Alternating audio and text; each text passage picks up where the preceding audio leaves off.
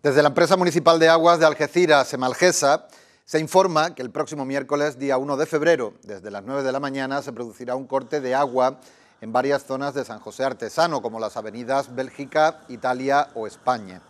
Este corte de suministro es debido a la realización de varias conexiones de abastecimiento a la red nueva mm, de la obra de la playa de mi barrio.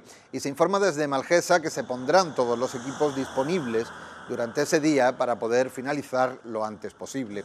Desde la empresa municipal de aguas de Algeciras lamentan las molestias ocasionadas y facilitan el teléfono de averías 24 horas 981 0132.